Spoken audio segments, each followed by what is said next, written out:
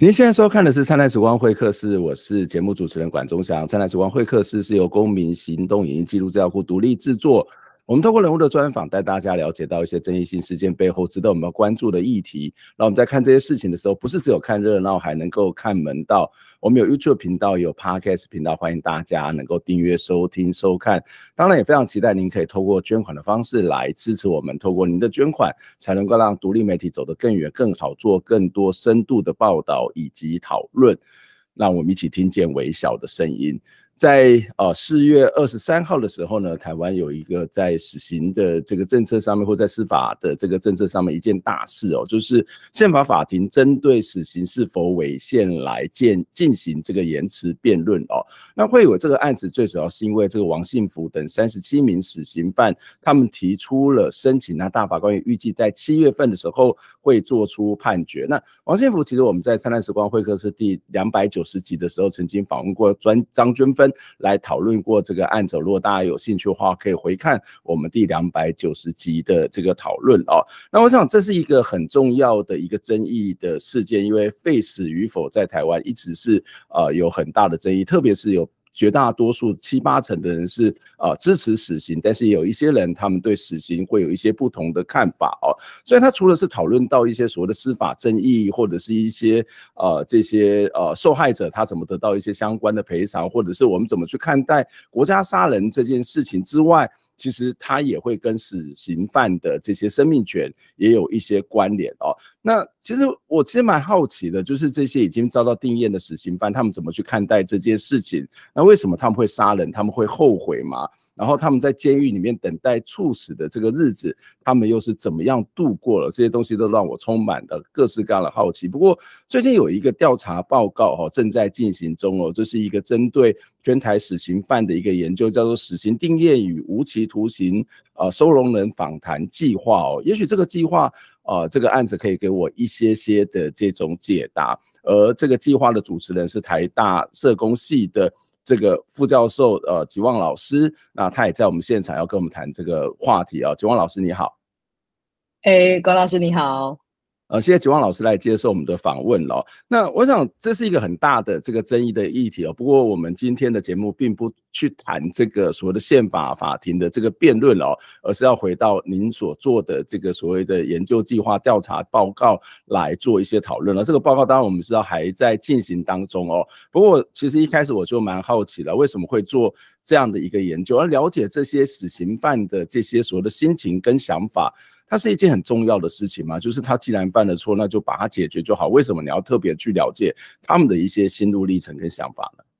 是呃，其实在这个计划，呃，如果认识我的朋友，大家会知道，我其实我的长期以来我自己的研究的，呃，或者是整个领域的发展，主要是聚焦在做原民，还有包含这个原民多元性别的议题这样子。那这跟我自己的生命经验跟背景有关哈，因为我本身是呃原住民族的背景，泰鲁格族。那所以当时在这个计划去要参与的时候，呃，其实也很多朋友问我这个问题，所以希望过去做的研究好像都没有在谈这个议题，怎么突然间会参与在这个计划里面？那我想提的是说，因为呃，我过去其实，在呃，在我大学毕业后，其实我在台湾人权促进会工作，嗯，那所以那个时候其实呃，废死呃，台宣会跟废死其实就有高度的这种合作，一起在关注这个废死的议题，这样。所以因为那个关系，在那个时候就认识了这个 Face 里面的一些伙伴。那所以一直到呃到最后继续在在后面继续念书，然后现在回到台湾工作之后，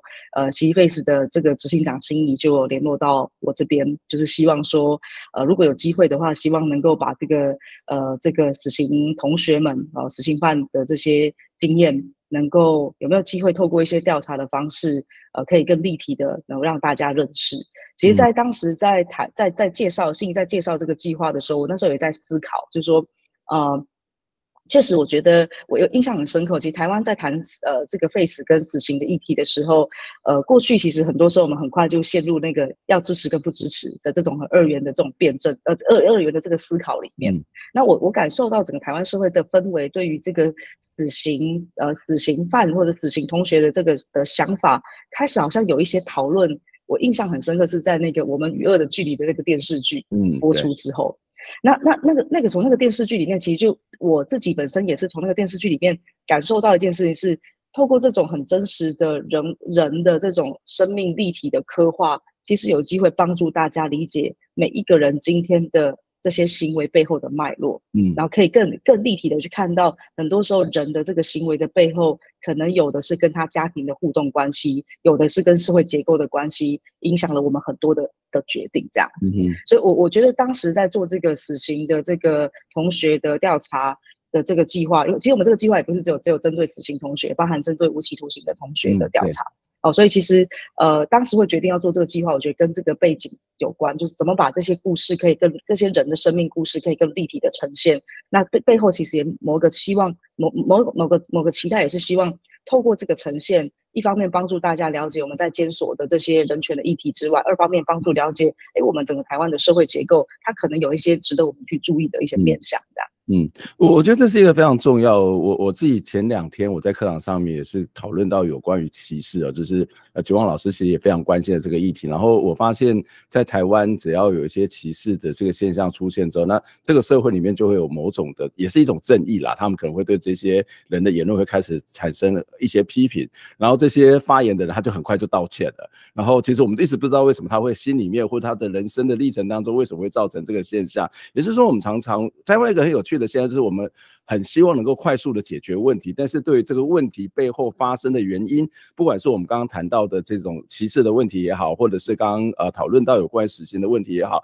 特别是这种所谓这比较相对的比较争议性的这个事件，我们都不太去调，不太会去讨论。它到底为什么会发生？好，这个时间相对之下比较少，所以这个其实我想也是这个研究案、这个调查一个非常重要的一个目的哦。那你们在这一次的调查当中，我也想要知道一些基本的一些资料，就是呃，到目前台湾到底还有多少的这个死刑犯哦？这些死刑犯他们大致上面的背景是什么？就是说他的性别啊，或者是他的人口特质等等的背景有有什么样的一个特别的地方吗？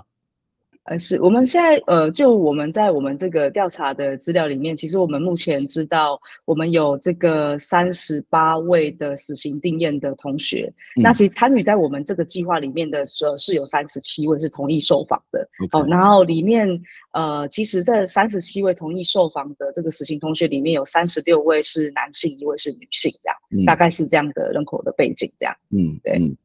那他们大部分都是什么样的学历啊，或者是他们大部分都是呃从事什么样的工作呢？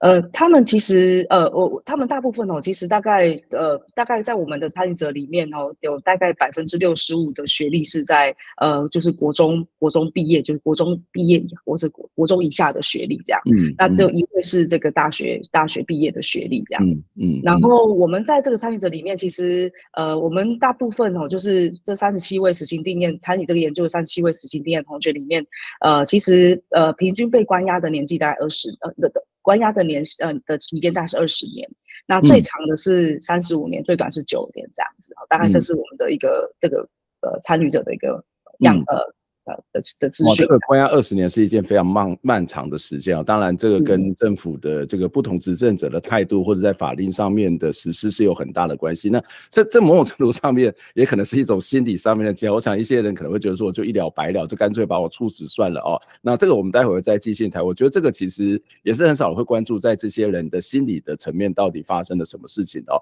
不过我们刚刚谈到这个这个比较是在一个人口特质的背景上面，但是我也同时也好奇，就是说。这些人为什么会杀人？哈，那他们的生命经验、他们的成长经验又又有什么样的特别的地方？特别是你刚刚谈到，呃，大概有非常高比例的人，大概就是国中或者是国中以下的这个程度。那这当然对于整个普遍的社会来讲，都会觉得，哎，教育程度好像不是很高。那这个是有一些关系、有一些关联的存在吗？呃，我我我我我觉得我们在呃，应该是说，我我觉得我们的这些呃。呃，受访的这些同学的经验里面哈，但呃呃，每一个他可能会让他选择呃杀人的这个原因哈，他的背景还是还是有他就会有他的一些呃会有他的一些呃事件上本身的多样性这样。嗯嗯。但是我觉得可以看得到一些状况，比如是呃我我我自己在看到哈这些参与的同学里面，其实有一定有大概有一定的比例哈，大概五大概一半以上呃一半以上的参与者，他可能是第一次。呃犯啊第一次就是这个第一次呃犯案，然后是杀人这件事情这样。第一次犯案就杀人，这么高的，所以所所以他们不是我们一般以为的所谓的惯犯，或者是那种所谓的非常的凶凶恶极恶的那样的人，而是第一次犯罪犯罪他就杀人了。对对，我们看到的有这个有这个现象这样子，然后那我我觉得这里面其实就有一个很值得去呃，就是第一次应该是我刚刚讲说有二十一位哈，就我们大概百分之五十五十七左右，第一次呃二十一位是第一次入呃第一次入监呐哈，应该是在呃就是有这个状况这样子，第一次，然后第一次入监，然后意思就是他是杀人，第一次入监是有这个重大刑案这样，嗯，那我自己觉得，单单的里面也有一些是。曾曾经有接受过感化教育的，哈，就是我们三十七位里面也有也有几位曾经是接受过感化教育的，然后另外有些可能是可能是有有有有有数次的这个入监的经验，但是我觉得就像我刚刚特别提说，像这种第一次呃入监，然后有重大刑案的，其实确实在我们的访访谈里面，它也占一定的比例这样子。那那我在这在这个访谈过程中，我觉得有几个就是很值得思考，就是说，因为大家很好奇到底。什么样的原因他们会犯案嘛？大家常常会有很多的这样的讨论。我我我我我呃，我觉得从一些我们的访谈中可以看到一个状况，比较像是有一些呃他会犯案的状况，那可能跟某某些可能跟成长的一些经验有关哦，可能是呃在家里面呃或者在求学过程中会有一些受挫的经验，然后呃或者是在家里面可能呃会面临到说呃也许有家庭的一些呃互动的互动的这种经验下。呃，也许让孩子觉得被疏忽，这也有可能。但我觉得有另外一个一块也蛮值得去留意的一个状况是，可能是呃有些因为有些呃，特别是第一次的这种入监的这第一次呃入监有这种重大刑案的，有的时候可能是跟这种呃情感关系有关。情感关系是什么意思？对，就是说可能是因为情杀好的这种事件是有关的。那那我我想我自己在在一直在思考一点是，我我觉得反映的一个现象是。我们好像在面对那种情绪这件事情，就是我们在面，其实很多时候我们在访谈的时候会会听到一些受刑同学会分享说，有时候他们会觉得当下也不知道为什么自己会，就好像有很冲动的做了这件事情，嗯，就情绪这件事，就是说他也不知道为什么自己会做了这件事，然后事后会其实会很后悔，到底为什么当时大家自己要那么冲动这样，然后那包含像刚刚在讲那个像情杀的这些事件，你都会有一个有一个有一个给我自己一个提醒，就是。好像我们在我们在人的成长教育，我们在这个养成人的养成教育中，在我们的教育系统中，我们好像很少有这样的相关课程，是带着学生在成长过程中去谈怎么去面对那种情绪，或者是怎么去面对，怎么去处理自己这些情绪，这样子，怎么去处理这种自己那种当很冲动情绪产生的时候，或怎么去面对这种被拒绝，甚至去面对这种诶不如所愿的这些情绪的状况。我觉得这是我们在教育现场上好像。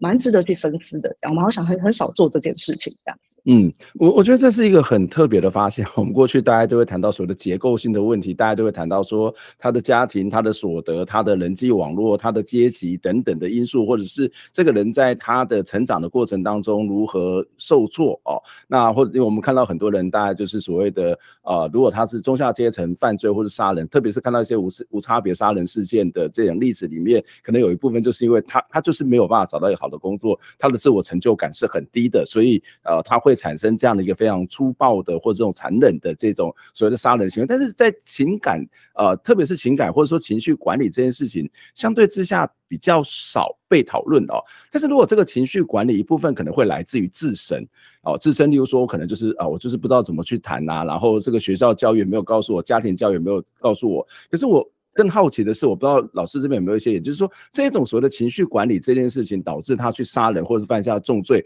跟他的生活的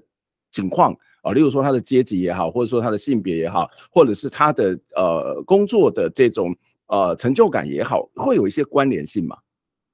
我觉得应该说，在现在这个研究里面，呃，可能很难用一个，就是说，这我们因为我们还在进行中，还在进行分析的过程中，然后有些资料其实还在整理。我我们现在这个阶段可能很难说直接去，呃，直接去看得到那个直接的哦关联性是什么。但是，但是我觉得可以从一些个别的案例里面，确实会感受得到，就是呃，我们的普遍性的这些参与的同学的，就像刚刚讲，如果以这个呃教育的这些经验跟资源来说。啊，确实，呃，他的刚刚讲到是大多多大多的这个成长的背景，呃，啊这个教就呃国国中以下的这个国中的毕业的学历，然后包含他可能在我们刚刚提到说，呃，可能有他们的在成长过程中，因为在家里面的互动下，呃，可能会面对到个家庭教呃家庭，因为因为很多时候会描述到家人很忙，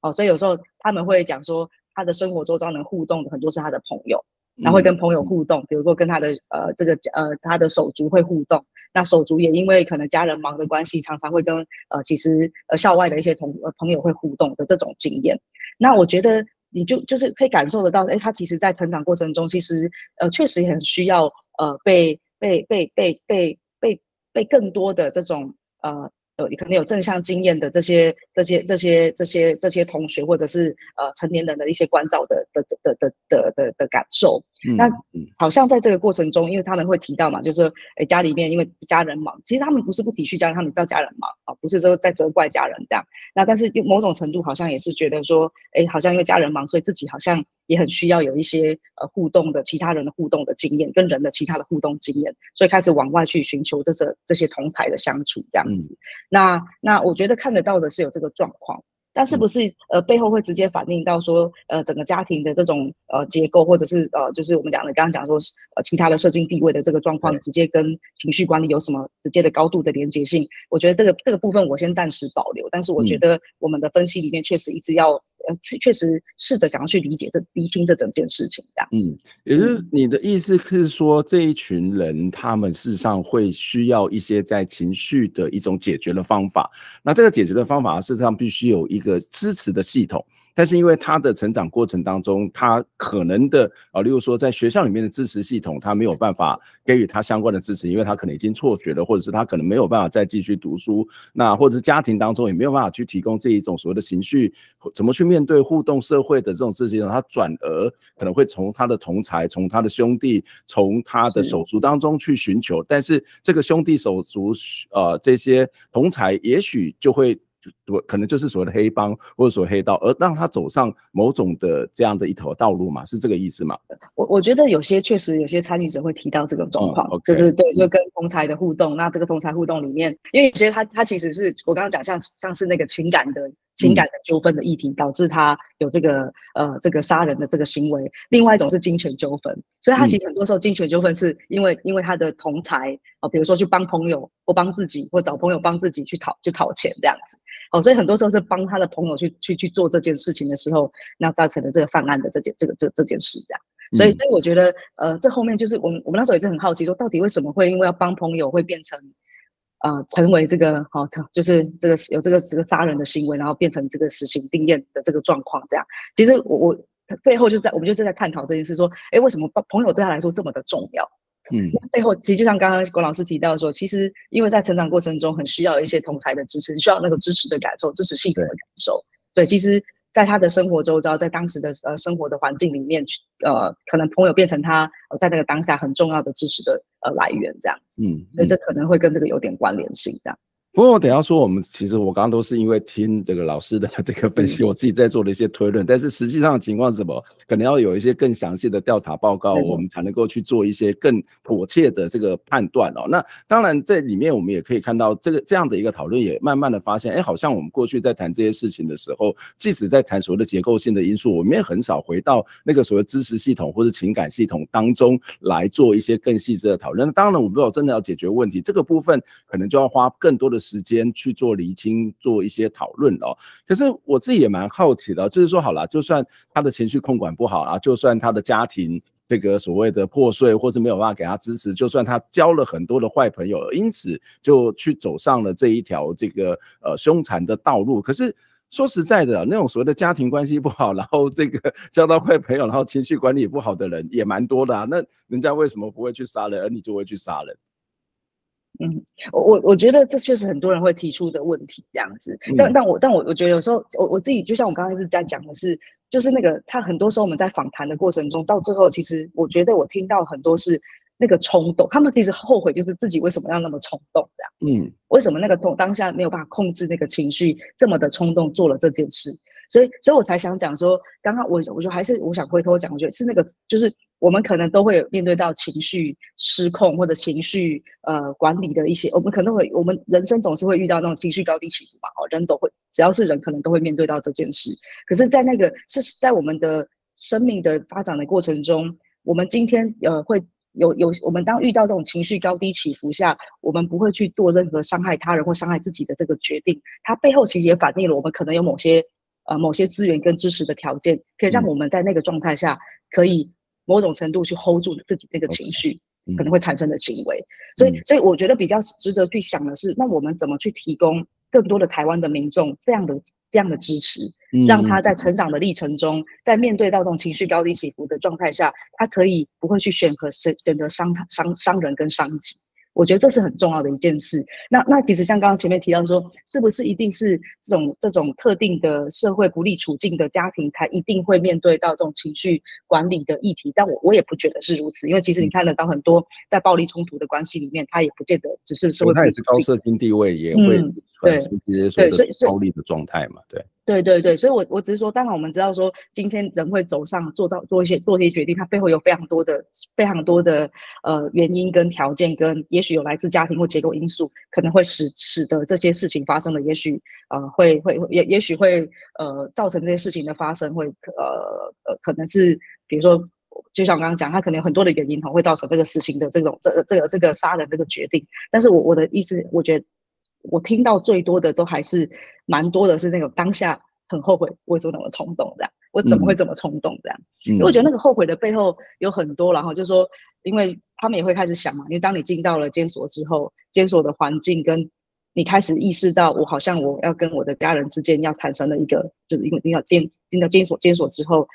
就开始跟家人之间就会产生了一个一定的距离的嘛，对，哦，就你没有办法在双亲或者在呃家人旁边的照顾者旁主要照顾者旁边能够去陪伴或照顾你的主要照顾者。其实我听到蛮多的这种这种感受，就是开始很懊悔自己怎么会做了这个决定，然后怎么去伤害了别人，也造成别人家里的破碎，也造成自己家里的破碎，这样。嗯，所以，我我最后我我我我一直在讲说，我觉得。这是我觉得那种我们在台湾，其我觉得不只是这种这种暴这种暴力的对待的这种，不但不是只有在死刑，其他在在在这种呃杀人致死，其实我们很多的在关系上的暴力的状况，像我们现在讲那种亲密关系暴力或人际冲突的暴力，包含像歧视的行为，其实我觉得这个跟这都都都跟我们怎么去处理情绪是很大的关系。包含我们今天去面对这些受伤让我们受伤的事件，我们的反应其实也跟我们怎么去处。这这个情绪管理的训练都有很大的关联性的。嗯嗯，我我想这一部分会有这样的观察的这一种呃这种思考，我当然一部分是因为我们收到的一些资料，一部分我我不知道是不是跟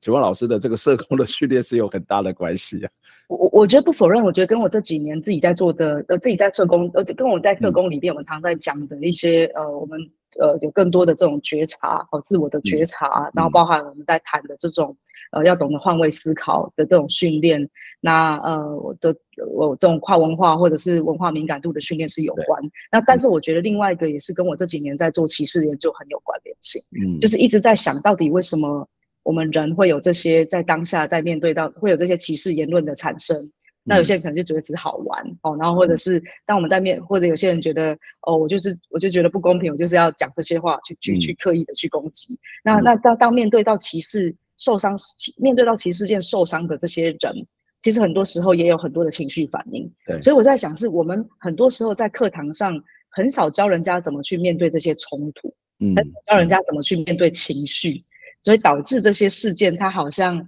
呃，有时候甚至有些老师他不知道怎么去处理这些冲突的时候，就选择赶快带过。可带过不代表事情解决了，那些情绪冲突都在台面下都还在酝酿跟发生，这样那些霸凌伤害都还在发生。嗯，所以所以我觉得，呃，就就就是会感受得到，呃呃，这这个这个事情上它的它的重要性，甚至它有可能也会严重到一个人如果长期面对到歧视跟霸凌，他其实也也有可能他也会有一些呃某种的反弹呢，嗯，对他也会反弹啊，他有一方面是要对自己的呃这种身心上的冲击之外，他也可能会有反而那个反弹的，当你的情绪的。状况或者是在这个社会环境结构不没有调整的更好，包含是我们在情绪的呃教养上面，这这这个教育上面，不管是对伤害他人或是受伤的人来说，没有给足够的这种训练的时候，其实那个反弹我们都不知道那个结果会是什么。嗯嗯。周老师给我们这个分析，实际上我觉得是一个非常珍贵的哦。特别是虽然你谈的很多是在情绪，但是这个情绪绝对是跟他的人际关系、社会网络，或者是这个所谓社会支持系统，甚至刚刚谈到社会安全网，或是在日常的家庭教育、学校教育，都是很大的关系。这其实是一个非常绵密的一个社会结构的问题跟现象。它绝对不会是这个杀人这件事情，不是我们想象的啊，他就是一个天生是一个坏蛋，是一个坏胚子，或者是他就是呃人心的非常的恶劣，他去做的这件事情啊。那这也是我们，我想这也是这个研究非常重要的一个地方。我们先休息一下，我们待会再回过头来讨论。就是我也很好奇，就是说，那这些所谓的死刑犯，他们是被关押在什么样的环境当中？你刚刚谈到有人关了三十多年，然后平均可能在二十年左右。哇，我想说，这个生活这个真的是某种程度上面生不如死，因为他每天都在等待死亡。那到底什么时候死亡？那还不如就一枪毙命，还是他对这个人生还有某种的期待跟想象？那我们先休息一下，再回过来讨论这个话题。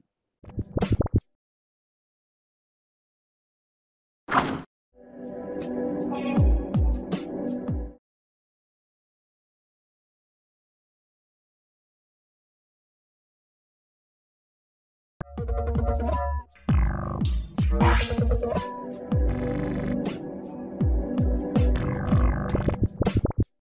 欢迎再次回到灿烂时光会客室，我是节目主持人管中祥。灿烂时光会客室是由公民行动影记录资料库独立制作，我们通过人物的专访，带大家了解到一些争议性事件背后值得我们关注的议题。我们有 YouTube 频道，有 Podcast 频道，欢迎大家订阅、收听、收看。也希望您可以透过捐款的方式来支持我们，透过您的捐款，才能够让独立媒体走得更远、更好，做更深度的报道以及讨论。我们今天要讨论这样的一个议题哦，其实在最近呢，有一群朋友他们在做了一个研究案哦，这个研究案。呃，我觉得这个题目蛮有趣也蛮重要，叫做“死刑定业与无期徒刑收容人访谈计划哦”。他们访问了三十多位的呃这个死刑犯，还有包括其他的这些无期徒刑的这个被关押的呃这个这个所谓的犯人哦。那他们去了解到这些人的犯罪的原因。刚我们今天的来宾也是呃这个计划的主持人吉旺老师，也跟我们稍微分析了呃在他所看到的一些这一种。所谓的犯罪原因跟动机的一些个人或甚至结构上面的问题哦，那再一次的欢迎吉旺老师，希望老师你好，哎，关老师你好。呃，非常谢谢你刚刚跟我们做的一些很重要的分析以及分享哦。那我们知道你、你、你们这个计划这个团队是到监所里面去做一些访谈，然后也跟他们有一些实际上面的这个接触哦。不过我我在问正式问题的时候，我其实有个很好奇啊，就是哎，我们的监所是这么开放，是可以让研究人员这样子进去来做访问的吗？哦，其实没没没没有没有没有那么容易，没有那么容易。他其实其实那个时候我们要做这个计划的时候，其实是呃等于是这个计划是我我们跟 Face 联盟一起合作，嗯，然后那个时候其实也确实有通呃这个有有有在呃有有有跟这个我们法务部这边哦有其实有有有讨论，然后所以包含监察院我记得我们有讨论。所以那个时候，其实最早是由 Face 联盟启动，然后就是他们来做这个，跟这些呃像呃中央的单位做讨论，那最后才有让这个计划有机会呃是有机会促成的。他他也没有那么的容易，他其实也花了一些力呃时间跟跟呃一个一些时间去去去去呃去呃讨论跟确认，然后才有机会让我们进到监所里面做这个访谈这样子。嗯嗯嗯，我想不管如何，它都是一个很好的开始，就像我们。在前面谈到，我们这个社会很想要赶快解决问题，但是如果我们不了解这些问题背后的真正的原因，那这个问题常常。他没有办法对位，或是真正的对焦，真正去解决问题哦。那我我刚刚在上一段节目当中，事实上也提出了一个问题，就是说，哎，那这些人被关那么久，就关了二十年，甚至三十多年哦，他们是关在一个什么样的环境里面？他们平常都在干嘛哦？那有些人说，这些死刑犯事实上有在上班，有在工作，那他们是到工厂去工作去上班吗？好，那呃，那他们会跟其他的这些服刑者有一些接触吗？呃，其实，在我们在访谈的过程中，听到蛮多的实情同学会分享到，呃，就说在监所的环境里面，呃，确实，其实其实很难很难，我其实对我来说是一个很难想象的状况。比如说，在一个很很小的关押的空间里面，然后呃一平多的关押的空间里面，然后接着他可能在那个生活环境中，其实光线都是很有限的。然后平常就是如果今天他们要呃要要要，比如说或者是今天在里面的这些呃假设要呃吃的东西，那你其实他们都要自己都要花钱去购买了。很多时候就说。如果比如说他今天要买买一些其他生活的日常的这些用品，或者要吃呃其他的这些呃，大家我们想象，那我们一般在想说，你可能要吃一些零食要什么的哈，那或者是呃，假设他们今天对于在监所里面本来监所提供的这些饮食，他们有很多的顾虑的话，因为有时候我们在访谈会听到一些同学会提到，呃呃，有时候吃东西会不小心会吃到像铁丝这样，所以有人就因为这样。戳破的呃嘴巴这样子哦，那那就要要要就医这样，所以他们如果对这些饮食的状况是有担心的话，呃，那或者是饮水的状况有担心的话，因为像也提到说像喝水，有时候会闻到那种很浓的那种呃那种呃恶臭味，或者是水可能是有颜色的水这样子，不是透明的。一般我们喝的水是透明的水嘛，可能看到黄色的水，其实有些人喝了下去之后，可能就会产生不舒服的状况。所以其实当他们对这种在在里面的食安饮水是有顾虑的时候，他们当然就会开始想说，那我干脆去买泡面，哦，就是用福利社去买泡面，或者是买水，那来那那避免自己会呃呃承受到那个身体的不舒适这样子。那大家大家就想说，哇，那。怎么有办法买买泡面跟买水？因为他们都要自己花钱哦，不是说我今天去 order，然后泡面有水就会他送过来不用钱，不是这样。那所以其实对他们来说，他们也会需要有钱。那要钱怎么来？可是事实上，在监所里面的实行的同学是没有办法下工厂去工作的，他无法下工厂工作，因为他没有办法跟其他的这些服刑的人接触，他是没有办法关关起来。对对对对，他们所以所以当时的关的思考就是，我我在想这个监所的。的政策里面就是就是逻辑上就是不希望他们跟其他人互动嘛，因为这种重大刑犯的就不要有互动。那所以呃，其实他们因为没有办法下工厂工作，就不会有收入哦，不会有收入。那那有一种收入来源可能就是折纸，比如说帮忙去折折纸的这种这种状况。那折纸的时候，呃，那就会变成是那些折的折纸的那些材料就会就会被带到他们，就被送到他们自己关押的那个空间里面，让他去做的是折莲花哦，折纸这样。那它其实那个折纸的那个能够赚取的费用非常的低哦，比起下工厂，其实相对来说是很悬殊的这样。所以当他他他们就有分享说，他折纸的话，其实都要就是要要跪着嘛哈，在在自己的那个空间里面，关押空间里面跪着折纸。那那你折折折好的那些莲花，它会有一个空间，它会占点空间。它本身那个它本身关押空间就很小。让那些折好的莲花还要先被摆在他的空间里面，会占到跪着是因为那个空间很小的，不是被处罚你要跪着，是因为那哦没有没有没有没有没有，这空间滚很小，但是他可以他可以自己选择要怎么哦要要要怎么，可是因为空间很小嘛，所以通常他们会选择的也就是也没有桌子嘛，所以就是用跪的方式去折纸折这些莲花的。那那那那那那这个过程中，其实当你那个。这些莲花体积也会占一定体积，也会压缩到他们自己的呃这个在呃自己的这个生活的空间。所以到后面，他其实蛮多同学会觉得说，我好像我好像折这些莲花，我能够赚的这些生活费用非常的低，我就会觉得说，好像好像那个真的那个真的是，然后我的生活的空间又会被压缩这样。所以到后面，其实让他们去做这个折折莲花来来赚取这个工资这件事情，呃。这个这他们就会变成这这这个选择会很困难做这个决定，这样，因为生活空间被管被限缩了很多。那所以他们通常今天有办法能够，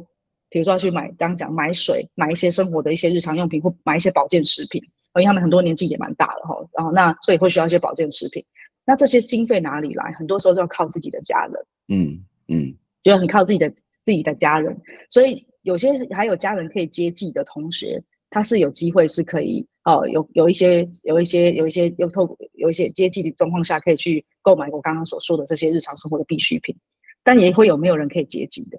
嗯，哦，就你知道，当他们年纪越大，同样的，他们家里面过往的这些主要照顾者年纪也越来越大，那甚至可能不在了，对，也不在了这样，哦，所以其实不是我们所想象的，好像他们在监所里面就是这么的生活的这么的容易，那也我觉得一般的台湾民众我们会想说啊，你今天在监所里面。啊，就我们会对那种监所的这些同的的死刑的同学会觉得说，死刑犯会认为说，你们就是吃免钱的牢饭。我就很常会听到这种说法。对，哦，所以说这些人为什么要让他过那么好，还要那边呃让纳纳税人负担这些经费，让他们吃免钱的牢饭？可是我觉得我我听到的比较多的感受，他们的反应比较是这个环境跟这个环境跟空间跟这些我们刚刚讲这些实案的问题，其实并不如我们所想象的。这件好像是一个很很很简单、很很很容易，或者很呃，好像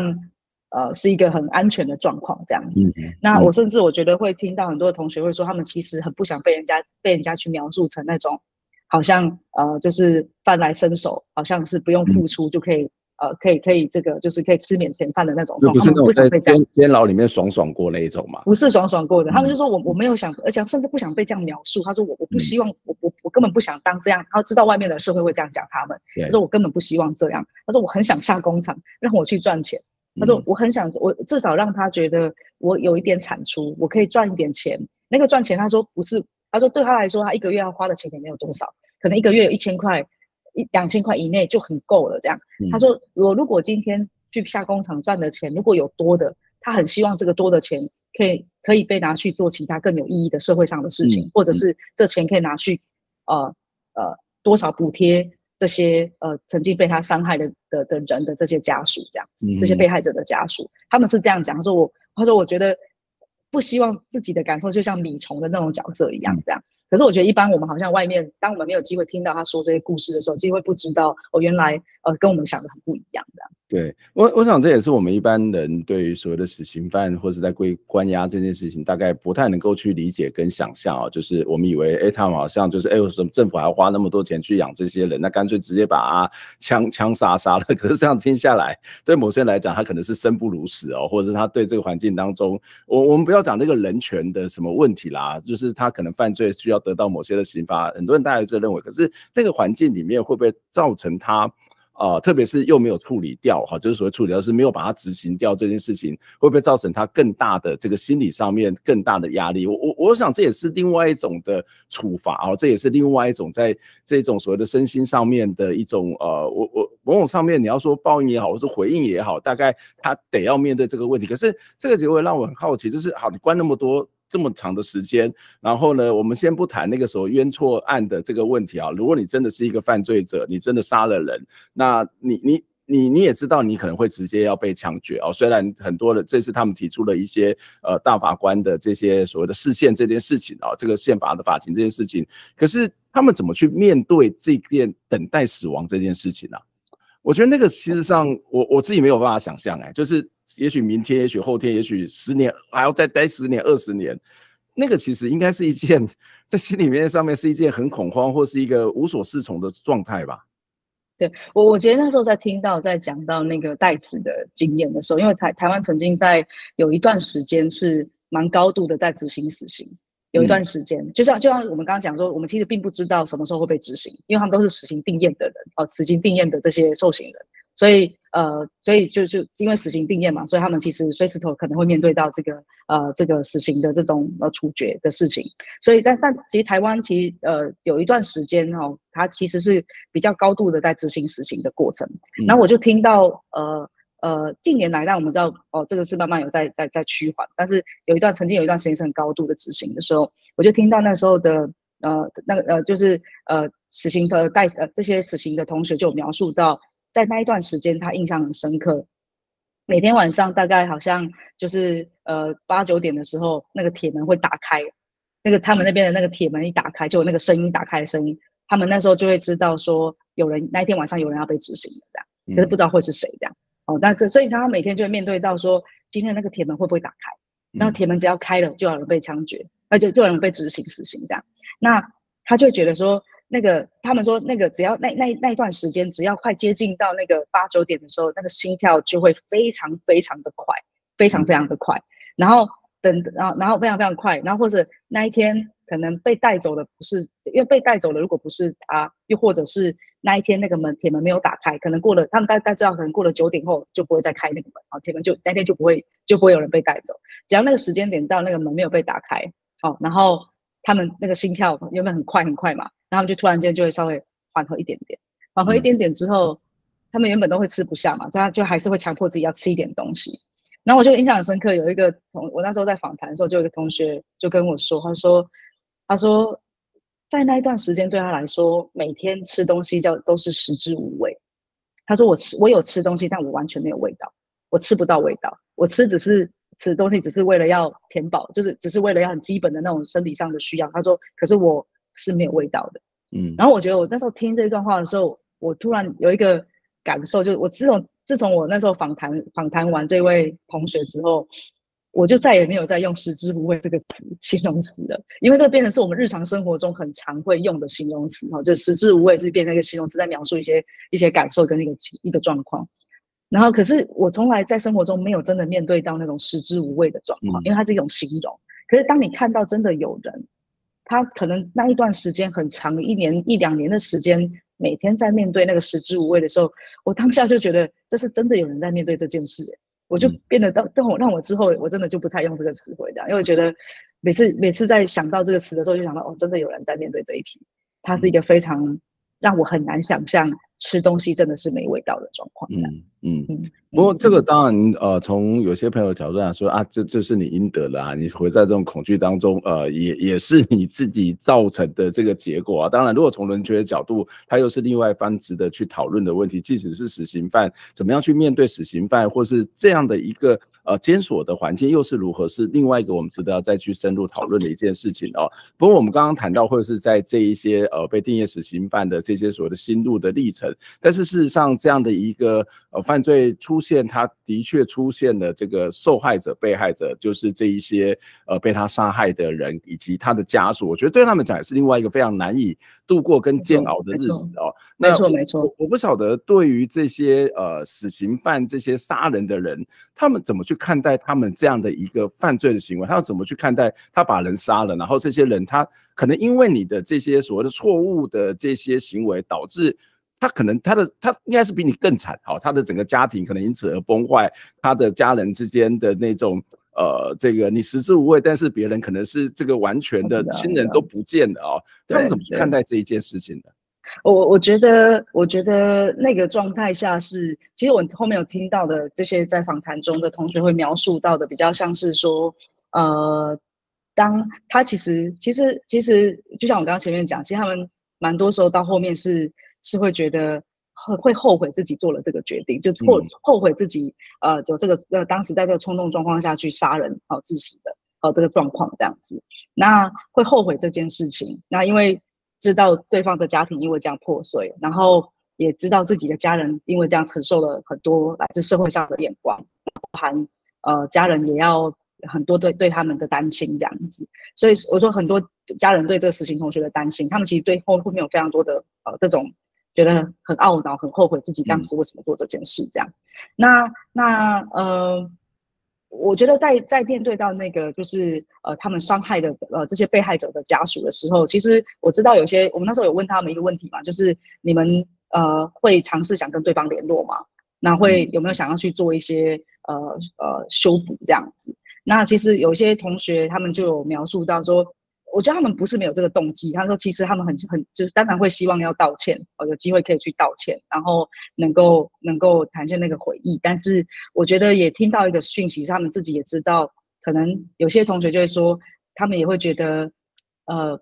知道因为对对方家庭造成很大的伤害，然后也会不确定，呃，对方的家人有没有想看到他们，就是觉得很担心自己的出现或自己的这些信件写过去。会不会变成对他们来说再一次的伤害？这样其实会有这样的考虑在这样子，所以所以所以我说，我从那个访谈里面其实听到的是那个悔有那个悔意，但是呃，我们至于要怎么去做这个疏忽式正义，呃，怎么这让他这里真的被实践？呃，我觉得那个确实也要去照顾到这个被害者家属的感受。我觉得他们在讲的是这个部分，这样怎么去照顾到被害者家属的那个感受的这这一块，这样。那这确实也是也让我在思考了，就是说确确实我们很希望能够让这些修复式正义可以可以被实践，但是怎么能够做的可以更细致、更细腻，可以顾全得到哦大家的这个状态。我我好像蛮需要更多的的的讨论的这样，嗯，因为这也不是这些呃这些所谓的死刑犯他个人的问题，是对方他愿不愿意接受，我们怎么去看待？那会不会造成其他的这种后续的连锁或者是更大的伤害？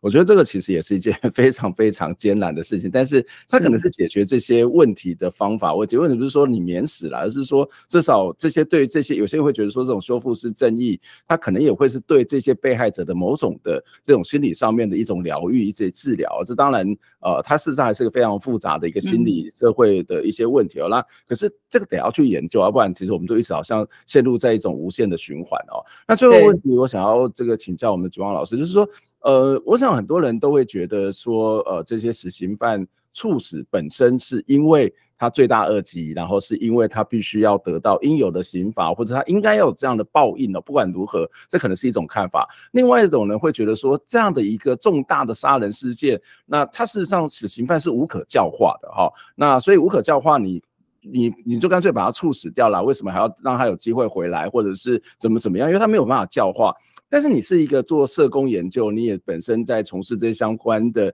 这些调查，你自己的观察当中，死刑犯这些人是可以教化的吗？我我自己的感受是，我觉得，呃，